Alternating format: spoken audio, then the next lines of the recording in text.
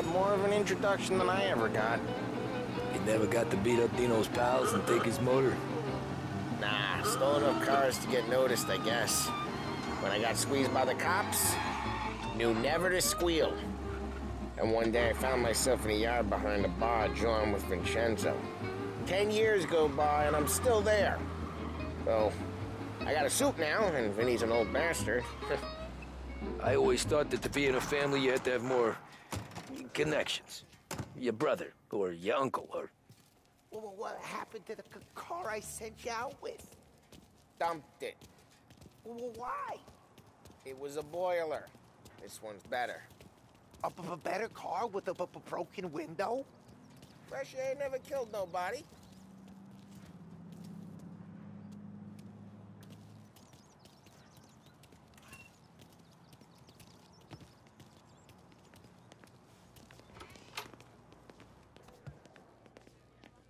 He's still with you then?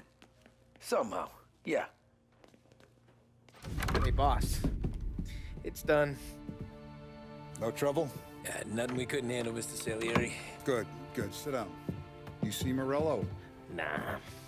But he'll be plenty pissed when his boys tell him what happened. He's not going to be able to think straight for weeks. See, that's the difference between me and Morello. I'm a businessman. I do everything with this. Every decision I make, it's what's good for the business and my boys. But Morello is a hothead, and all that anger burns out the brain. And when he gets mad, he gets stupid. you got nothing like that to worry about with Tommy here. He was aces the whole way, boss. I'm glad to hear it. I got a growing business here. We could use a guy like you to help out around the bar. Maybe run some errands, make sure the bills get paid on time. You up for that? Oh, it'd be an honor, sir. Good. Good. Now, Paulie and Sam have already vouched for you. But you need to understand we have a few rules around here, so you listen and listen good. First, no cursing on the premises. There's a million words out there. And the man who needs to resort to fuck this and fuck that is just ignorant or lazy. Second, we don't deal in the hard stuff. I don't want any dope fiends in this neighborhood. We'll let Morello poison his own people if that's what he wants. Finally, stay out of trouble with the cops. We only have a few on the payroll. And if you cross the line, the rest will come after you. You understand? Yes, Mr. Salieri.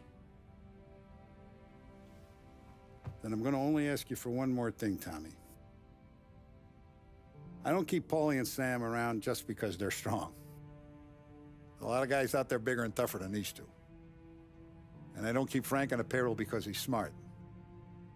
Though he is an artist with the numbers. All these guys in this room, they're here because they have the only thing that matters to me. The only thing that should matter to any of us. You know what that is, Tommy?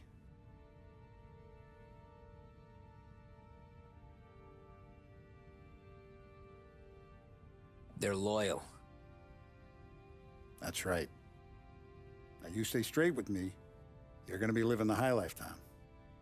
But you abuse my trust. Don Salieri, you won't ever need to worry about me. Okay, then. Welcome to the family.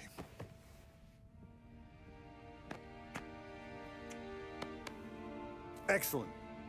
Now I'm starving. Luigi, let's eat. Welcome. A barman Luigi is not much of a cook. But his daughter Sarah, Maron.